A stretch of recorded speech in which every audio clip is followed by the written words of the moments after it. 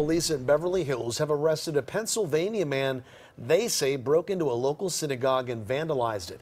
It happened on Saturday at the Nessah Synagogue in Beverly Hills.